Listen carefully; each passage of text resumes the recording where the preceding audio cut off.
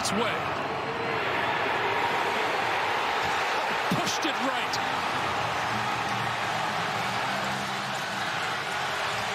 Long enough, but he pushed it right.